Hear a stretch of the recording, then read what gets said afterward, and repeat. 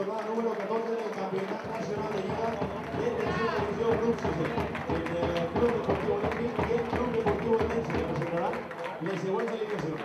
Per part de l'equip visitant, amb l'1, Xema, amb el 2, Joseja, amb el 3, Axo, amb el 4, Luis Acosta, amb el 5, Quique Torrent, amb el 6, Pepe Palau, Xema Díaz. Per a possibles substitucions, amb el 12, Manu Martínez, amb el 13, Chanza, amb el 14, Clausí, amb el 15, Murgi i amb el 16, Solano. Entrenador, Dani Pollo, Belija.